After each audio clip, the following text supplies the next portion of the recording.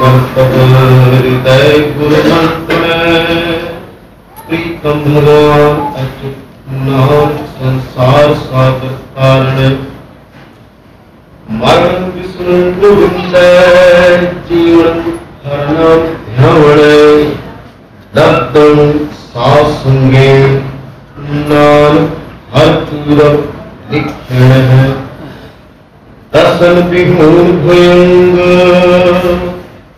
ਮੰਤਰੰ ਕਾਰੜੀ ਨਿਵਾਰਣ ਪਿਆਰ ਉਪਾਰਣ ਸੰਤੰ ਨਾਨਕ ਲਬਧੰ ਕਰਮਣ ਹੈ ਜਥ ਕਥਰਣ ਸਰਣੰ ਸਰਬਤਰ ਜੀਣੈ ਤਥ ਲਗਣੰ ਪ੍ਰੇਮ ਨਾਨਕ ਪ੍ਰਸਾਦ ਗੁਰ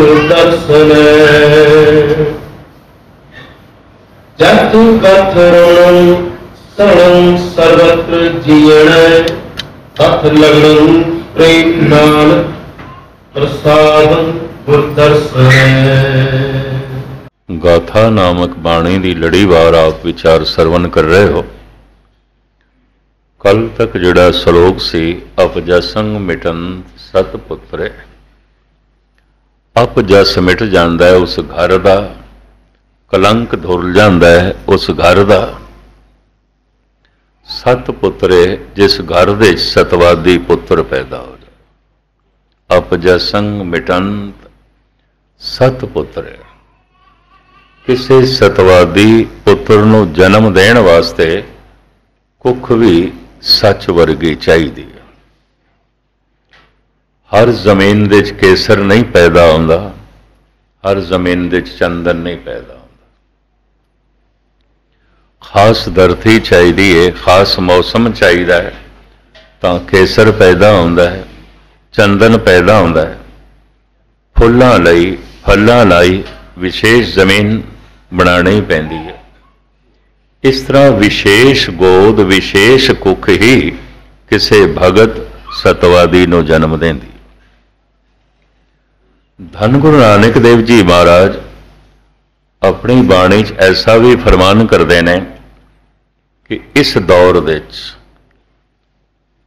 ਗਾਲਬਨ ਜਦੋਂ ਸਤਿਗੁਰੂ ਦਾ ਆਗਮਨ ਹੋਇਆ, ਅੰਦਾਜ਼ਨ ਸਵਾ 500 ਸਾਲ ਤੇ ਹੋ ਗਏ, ਉਸ ਸਮੇਂ ਤੱਕ ਸਮਾਜਿਕ ਜੀਵਨ ਇਤਨਾ ਭ੍ਰਸ਼ਟ ਹੋ ਗਿਆ ਸੀ, ਮਹਾਰਾਜ ਕਹਿੰਦੇ ਨੇ, ਚੰਗੀ ਔਲਾਦ ਨਹੀਂ ਪੈਦਾ ਹੋ ਰਹੀ।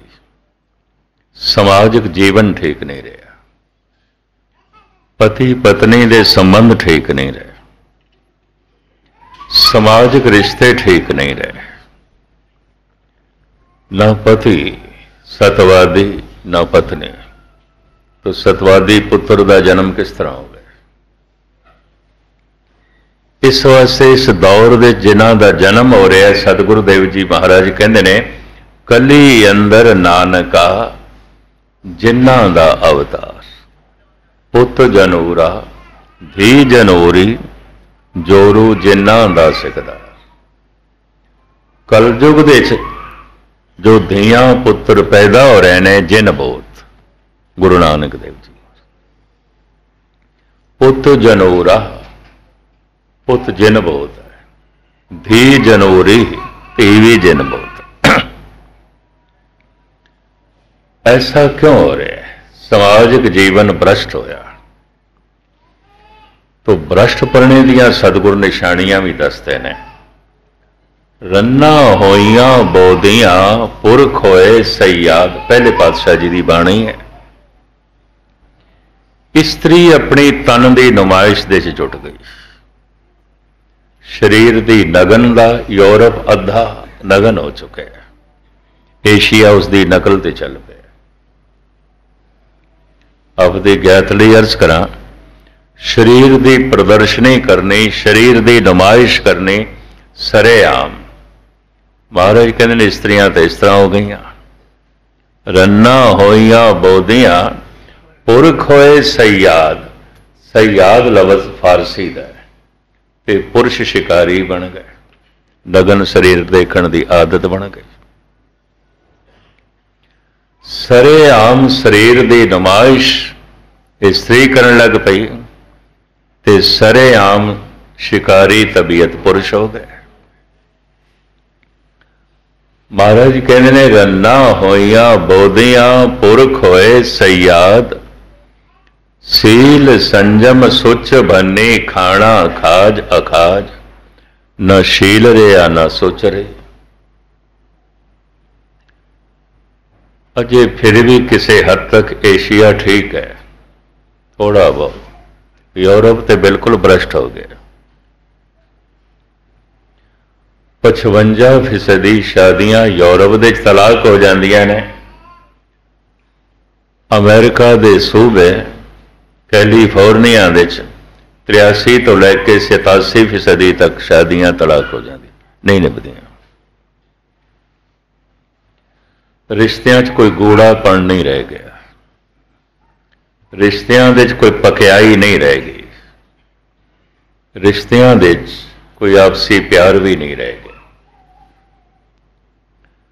ਤੋ ਸਾਹਿਬ ਕਹਿੰਦੇ ਨੇ, ਸੀਲ ਸੰਜਮ ਸੁਚ ਬੰਨੇ, ਖਾਣਾ ਖਾਜ ਅਖਾਜ, ਸ਼ਰਮ ਗਈ ਘਰ ਆਪਣੇ, ਪਤ ਉੱਠ ਚੱਲੇ ਨਾਲ, ਨਾਨਕ ਸੱਚਾ ਏਕ ਹੈ ਅਵਰ ਨ ਸੱਚਾ ਵਾ ਐਸੀ ਹਾਲਤ ਜਦ ਪਰਿਵਾਰ ਦੇ ਚ ਹੋਵੇ ਤੋ ਪ੍ਰਹਿਲਾਦ ਦਾ ਜਨਮ ਥੋੜੀ ਹੋਵੇਗਾ, ਭਾਈ ਗੁਰਦਾਸ ਦਾ ਜਨਮ ਥੋੜੀ ਹੋਵੇਗਾ।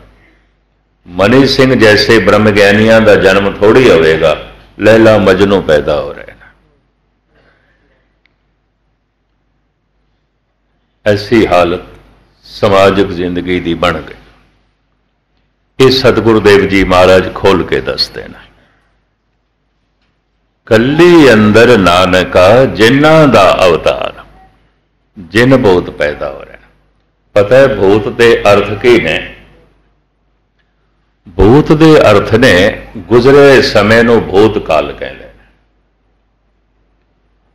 ਗੁਜ਼ਰੀ ਹੋਈ ਜ਼ਿੰਦਗੀ ਨੂੰ ਭੂਤ ਕਾਲ ਕਹਿੰਦੇ ਨੇ। ਸਾਬਕਾ ਐਕਸ ਮਿਨਿਸਟਰ ਨੂੰ ਭੂਤਪੂਰਵ ਮੰਤਰੀ ਕਹਿੰਦੇ ਨੇ।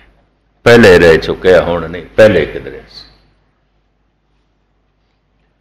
ਤੇ ਮਨੁੱਖ ਦਾ ਪਿਛੋਕੜ, ਬਹੁਤ ਪਿਛੋਕੜ ਤੇ ਪਸ਼ੂ ਸੀ, ਬਨਸਪਤੀ ਦੀ ਪੱਥਰ ਸੀ, ਉੱਥੋਂ ਚੱਲੇ ਹੈ ਹੈ ਤੇ ਮਨੁੱਖ, ਪਸ਼ੂਆਂ ਦੀ ਤਰ੍ਹਾਂ ਜੀਵੇ, ਇਹ ਭੂਤ ਹੈ।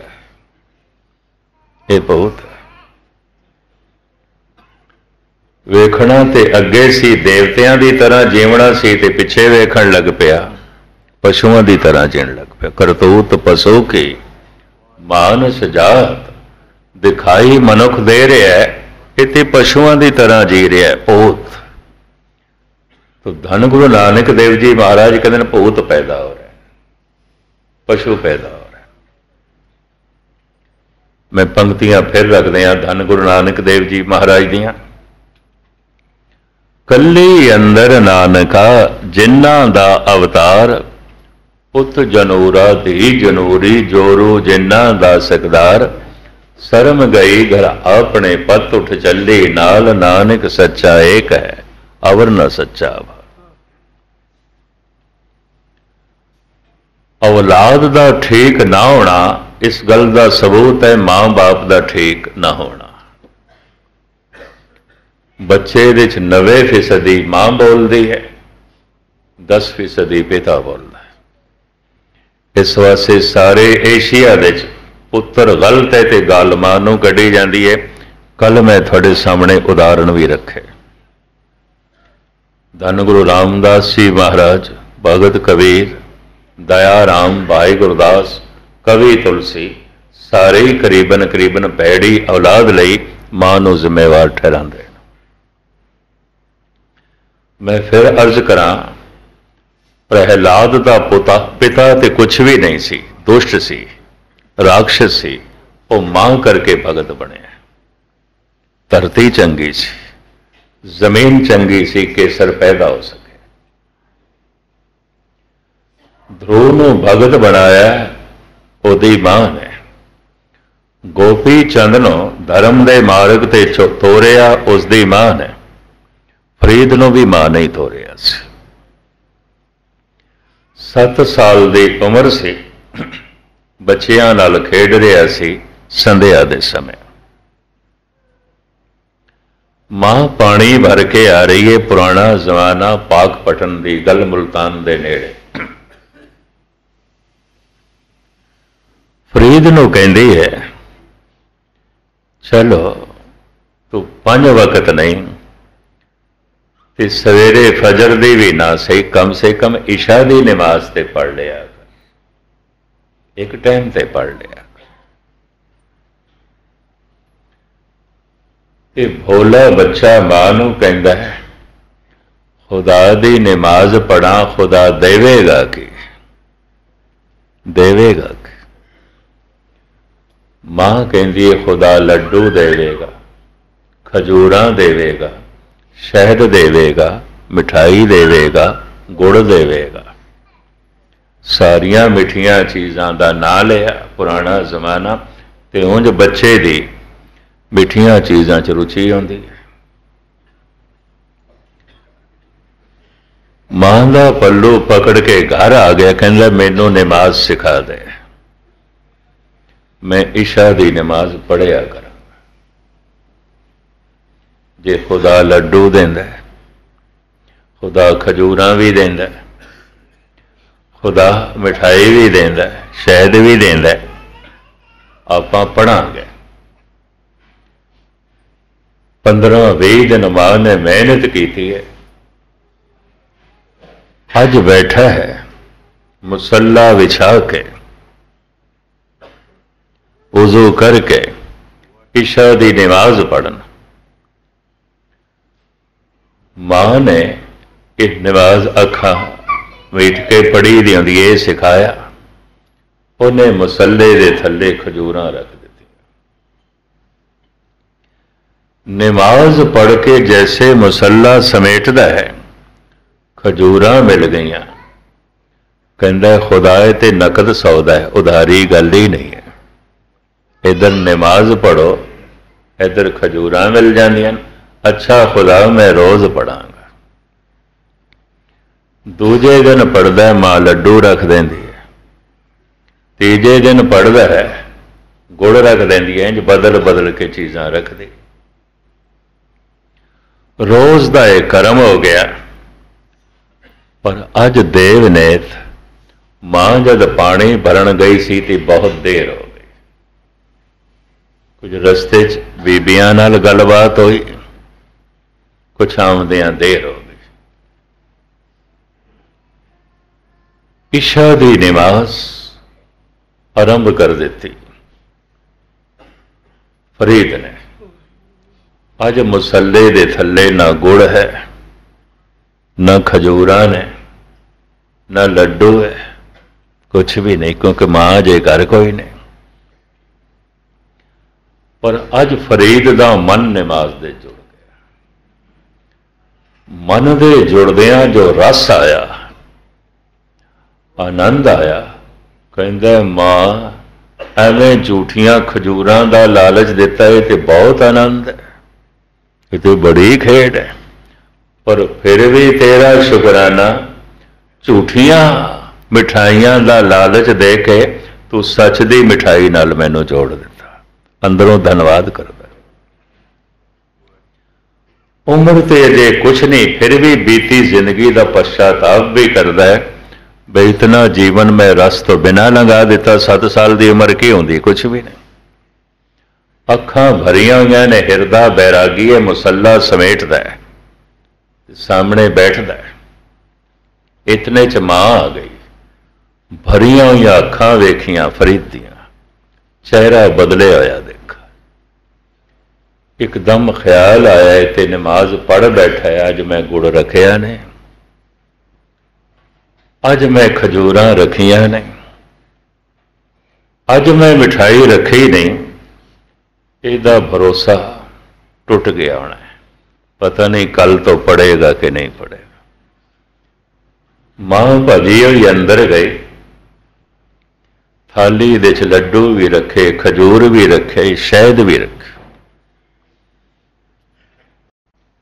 ਭਰੀ ਹੋਈ ਥਾਲੀ ਦੇ ਆਈ। ਇਹ ਆਖਣ ਲੱਗੇ, ਬੇਟਾ, ਅੱਜ ਖੁਦਾ ਨੂੰ ਜਲਦੀ ਸੀ, ਮੈਨੂੰ ਦੇ ਗਿਆ ਸੀ। ਕਹਿੰਦਾ ਸੀ, ਫਰੀਦ ਨੂੰ ਦੇ ਦੇਣਾ। ਪਤਾ ਫਰੀਦ ਨੇ ਕੀ ਆਖਿਆ? ਮਾਂ, ਰੋਜ਼ ਤੈਨੂੰ ਦੇਂਦਾ ਹੋਵੇਗਾ, ਅੱਜ ਤੇ ਸਿੱਧਾ ਹੀ ਮੈਨੂੰ ਦੇ ਗਿਆ। ਰੋਜ਼ ਦਿੰਦਾ ਹੋਵੇਗਾ ਤੈਨੂੰ। ਤੇਰੇ ਹੱਥਾਂ ਤੋਂ ਖਜੂਰ ਮਿਲਦੀ ਰਹੀ। ਗੁੜ ਮਿਲਦਾ ਰਿਹਾ। ਮਿਠਾਈ ਮਿਲਦੀ ਰਹੀ ਰੋਜ਼ ਦਿੰਦਾ ਹੋਵੇਗਾ ਖੁਦਾ ਤੈਨੂੰ। ਅੱਜ ਖੁਦਾ ਸਿੱਧਾ ਹੀ ਮੈਨੂੰ ਦੇ ਗਿਆ। ਔਰ ਐਸੀ ਮਿਠਾਈ ਦੇ ਗਿਆ, ਸੱਚ ਦੀ ਇਸ ਦੀ ਲੋੜ ਹੀ ਨਹੀਂ। ਫਰੀਦਾ, ਸ਼ੱਕਰ, ਖੰਡ, ਨਿਵਾਤ ਗੁੜ, ਮਾਖਿਓ, ਮਾਂਜਾ, ਦੁੱਧ, ਸਭੇ ਵਸਤੂ ਮਿੱਠੀਆਂ, ਰੱਬ ਨਾ ਪੁੱਜਨ ਤੋ ਅੱਜ ਜੋ ਮੈਨੂੰ ਰਸ ਆਇਆ ਹੈ ਮਾਂ ਇਹ ਤੇ ਕੁਛ ਵੀ ਨਹੀਂ। ਹੈ ਇਹ ਕੁਛ ਵੀ ਨਹੀਂ। ਤੇਰਾ ਧੰਨਵਾਦ, ਝੂਠੀਆਂ ਖਜੂਰਾਂ ਦੇ ਲਾਲਚ ਕਰਕੇ ਮੈਂ ਨਮਾਜ਼ ਪੜ੍ਹਨੀ ਆਰੰਭ ਕੀਤੀ, ਸੱਚ ਦੀਆਂ ਖਜੂਰਾਂ ਖੁਦਾ ਨੇ ਝੋਲੀ ਚ ਪਾ ਦਿੱਤੀਆਂ। ਤੇਰਾ ਧੰਨਵਾਦ, ਇਹ ਬੋਲਨੇ ਬਾਬੇ ਫਰੀਦ ਦੇ ਤਿੰਨ ਧਨ ਜਣੇ ਦੀ ਮਾਂ ਆਏ ਸਫਲ ਤੇਰਾ ਸ਼ੁਕਰੀਆ। ਤੇਰਾ ਧੰਨਵਾਦ, ਮਾਂ ਨੇ ਗਲਵਕੜੀ ਚ ਲਿਆ। ਔਰ ਉਹ ਵੀ ਜ਼ਾਰੋ ਜ਼ਾਰ ਰੋ ਪਈ। हे ਖੁਦਾ, ਤੂੰ ਮੇਰੇ ਬੱਚੇ ਦੀ ਜ਼ਿੰਦਗੀ ਸਫਲ ਕਰ ਦਿੱਤੀ। ਇਹ ਤੇਰੇ ਰਸਤੇ 'ਚ ਭਰ ਗਿਆ ਇਹ ਤੇਰੀ ਯਾਦ ਨਾਲ ਪਰ ਗਿਆ ਤੂੰ ਬੇਸ਼ਤਰ ਦੁਨੀਆ ਦੇ ਚੋਟੀ ਦੇ ਭਗਤ, ਮਾਂ ਦੀ ਪ੍ਰੇਰਣਾ ਨਾਲ ਬਣੇ ਨੇ, ਮਾਂ ਦੀ ਕੁੱਖ ਕਰਕੇ ਬਣੇ ਨੇ, ਮਾਂ ਦੇ ਸੰਸਕਾਰਾਂ ਕਰਕੇ ਬਣੇ ਨੇ। ਇਹ ਵੀ ਮੈਂ ਅਰਜ਼ ਕਰਦਾ ਸਤਿਗੁਰੂ ਦੇਵ ਜੀ ਮਹਾਰਾਜ ਕਹਿੰਦੇ ਨੇ, ਪਰਿਵਾਰਕ ਜੀਵਨ ਇਤਨਾ ਭ੍ਰਸ਼ਟ ਹੋ ਗਿਆ ਹੈ, ਭਗਤਾਂ ਦਾ ਪੈਣ ਪੈਦਾ ਹੋਣਾ ਹੀ ਬੰਦ ਹੋ ਗਿਆ, ਬਹੁਤ ਪੈਦਾ ਹੋ ਰਿਹਾ ਸ਼ਾਇਦ ਮੈਂ ਤੁਹਾਨੂੰ ਦੱਸੀਏ ਕਿ ਨਹੀਂ, ਕਾਨਪੁਰ ਦੀ ਗੱਲ।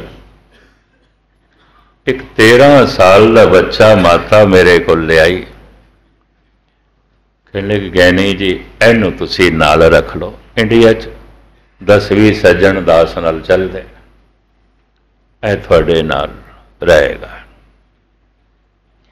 ਮੈਂ ਕਿਹਾ, ਇਹ ਬਹੁਤ ਛੋਟਾ ਹੈ, ਜੇ ਇਹਨੂੰ ਬਾਣੀ ਪੜਾਣੀ ਹੈ, ਅਰਥ ਸਿਖਾਣੇ ਨੇ, ਕਮ ਸੇ ਕਮ ਇਹਨੂੰ ਮੈਟ੍ਰਿਕ ਤੇ ਪੜਾ ਲਓ। ਕੁਝ ਪੜ ਲਵੇ, ਦੁਨਿਆਵੀ ਵਿਦਿਆ ਪੜ ਲਵੇ। ਇਹ ਬਹੁਤ ਛੋਟਾ ਹੈ। ਮੈਨੂੰ ਕਹਿਣ ਲੱਗੇ, ਮਸਕੀਨ ਜੀ, ਸਾਰੇ ਸਕੂਲਾਂ ਚੋਂ ਕੱਢ ਦਿੱਤਾ ਗਿਆ। ਗੁਰੂ ਨਾਨਕ ਸਕੂਲ ਦੇ ਰੋਜ਼ ਲੜ, ਝਗੜਦਾ ਸੀ, ਕੱਢ ਦਿੱਤਾ। ਗਵਰਨਮੈਂਟ ਹਾਈ ਸਕੂਲ ਦੇ ਚ ਪਾਇਆ, ਰੋਜ਼ ਲੜਦਾ ਸੀ, ਚੋਰੀ ਕਰ ਲੈਂਦਾ ਸੀ। ਫਿਰ ਭੁੱਲ ਕੇ ਇਸਲਾਮੀਆ ਹਾਈ ਸਕੂਲ ਦੇ ਚ ਪਾਇਆ, ਹੋਰ ਕੋਈ ਦਾਖਲਾ ਨਹੀਂ ਦਿੰਦਾ ਸੀ। ਉੱਥੇ ਪ੍ਰਿੰਸੀਪਲ ਨੂੰ ਛੁਰਾ ਦਿਖਾ ਬੈਠਾ। ਸਾਰਾ ਮਹੱਲਾ ਤੰਗ ਹੈ, ਕਦੀ ਕਿਸੇ ਨੂੰ ਮਾਰਦਾ, ਕਦੀ ਕਿਸੇ ਨੂੰ ਮਾਰਦਾ, ਕਦੀ ਕਿਸੇ ਦਾ ਕੁਝ ਚੁੱਕ ਲਿਆਂਦਾ, ਕਦੀ ਕਿਸੇ ਦਾ। ਸਾਰਾ ਮੁਹੱਲਾ ਗਿਲਾ ਕਰਦਾ ਹੈ, ਤੰਗ ਆ ਗਿਆ। ਤੁਸੀਂ ਨਾਲ ਰੱਖ ਲਓ। ਮੈਂ ਕਹਾ, ਹੱਦ ਹੋ ਗਈ ਜਿਹੜਾ ਬਹੁਤ ਤੁਹਾਨੂੰ ਚੰਬੜਿਆ, ਹੁਣ ਮੈਨੂੰ ਚੰਬੜਨਾ ਇਹ ਤੇ ਬਹੁਤ ਪੈਦਾ ਕੀਤਾ ਹੈ।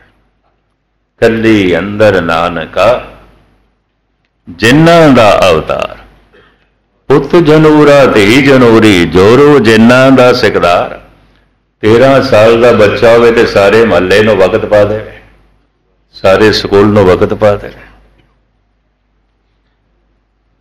ਹੈਰਾਨਗੀ ਹੋਈ ਮੈਨੂੰ, ਜਦ 3-4 ਸਾਲ ਪਹਿਲੇ ਅਮਰੀਕਾ 'ਚ ਹਾਦਸਾ ਹੋਇਆ, ਇੱਕ ਮਾਸੂਮ 11 ਸਾਲ ਦੇ ਬੱਚੇ ਨੇ ਸਟੇਨ ਗਨ ਚਲਾ ਕੇ ਸਕੂਲ ਦੇ 'ਚ 22 ਬੱਚੇ ਮਾਰ ਦਿੱਤੇ।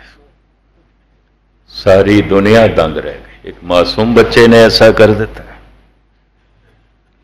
ਖੈਰੇ ਮੈਂ ਉਦਾਹਰਣ ਪਿਆ ਦੇਣਾ ਗੁਰੂ ਨਾਨਕ ਦੇਵ ਜੀ ਮਹਾਰਾਜ ਕਹਿ ਰਹੇ ਨੇ, ਭੂਤ ਪੈਦਾ ਹੋ ਰਹੇ ਨੇ, ਪਸ਼ੂ ਪੈਦਾ ਹੋ ਰਹੇ ਨੇ। ਮਨੁੱਖੀ ਮਾਂ ਮਨੁੱਖਾਂ ਨੂੰ ਵੀ ਜਨਮ ਨਹੀਂ ਦੇ ਰਹੀ, ਪਸ਼ੂਆਂ ਨੂੰ ਜਨਮ ਦੇ ਰਹੀ। ਗੋਦ ਇਤਨੀ ਮੈਲੀ ਹੋ ਗਈ, ਸੰਸਕਾਰ ਇਤਨੇ ਮੈਲੇ ਹੋ ਗਏ ਨੇ। ਹੁਣ ਗੰਦੇ ਨਾਵਲ ਪੜਨ ਵਾਲੀ ਮਾਂ, ਗੰਦੀਆਂ ਫਿਲਮਾਂ ਵੇਖਣ ਵਾਲੀ ਮਾਂ, ਗੰਦੇ ਮੈਗਜ਼ੀਨ ਪੜਨ ਵਾਲੀ ਮਾਂ, ਗਲਤ ਵਿਚਾਰਾਂ ਦੇ ਜੀਣ ਵਾਲੀ ਮਾਂ, ਪ੍ਰਹਿਲਾਦ ਨੂੰ ਜਨਮ ਥੋੜੀ ਦੇਵੇਗੀ। ਇਸ ਦੀ ਕੁੱਖ ਤੋਂ ਮਨੀ